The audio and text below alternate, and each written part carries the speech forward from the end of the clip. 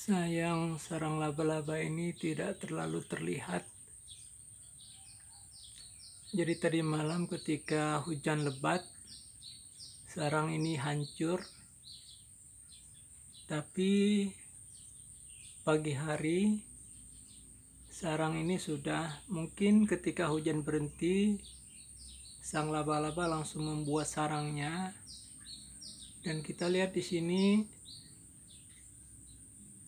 banyak sekali nyamuk yang tertangkap oleh sarang lebah ini. Nah, ini banyak sekali nyamuk yang tertangkap. Nah, ini luar biasa.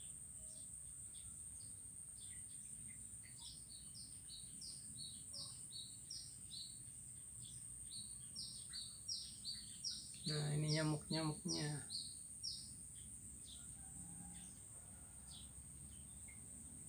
Yang terperangkap di sarang lebah. Maaf, di sarang laba-laba.